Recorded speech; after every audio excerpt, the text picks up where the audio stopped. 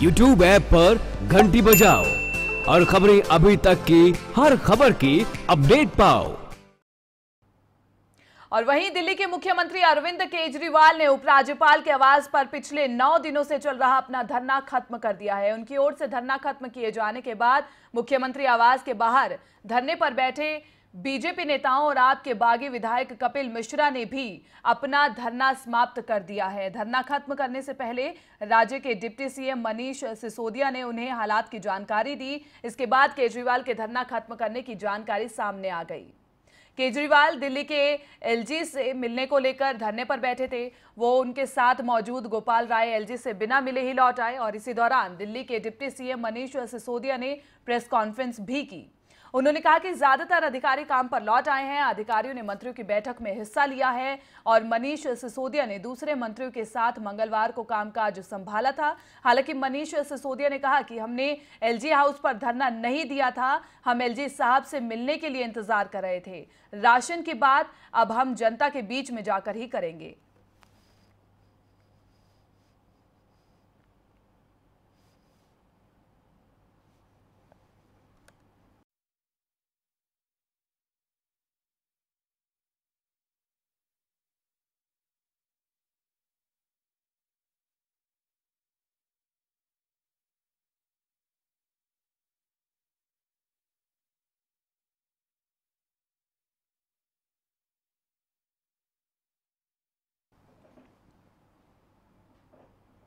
तो यहाँ पर आपको बता दें कि अरविंद केजरीवाल पिछले नौ दिनों से धरने पर थे। जो धरना कल खत्म हो गया, आपको बता दें कि आईएएस अधिकारियों के काम पर न आने की वजह से केजरीवाल नाराज़ थे और इसी को लेकर वो उपराज्यपाल से मिलना चाहते थे, लेकिन उपराज्यपाल से उनकी मुलाकात नहीं हुई और उसके बाद वो वहीं पर धरने पर बैठ गए और पिछले नौ दिनों से वो धरने पर ही बैठे थे, लेकिन कल लेफ्टिनेंट गवर्नर से उनकी बात हुई और लेफ्टिनेंट गवर्नर ने यह आश्वासन दिया कि अब सभी अधिकारी काम पर जाएँगे।